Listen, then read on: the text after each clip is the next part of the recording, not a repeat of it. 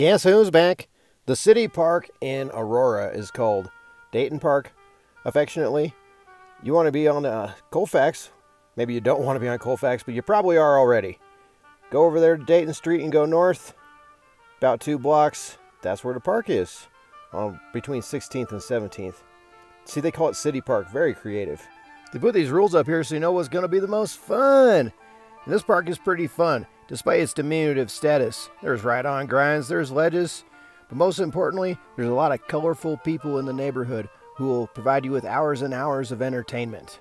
My buddy was propositioned over here, and she was really gross. So he uh, jokingly said, What's that, like a dollar?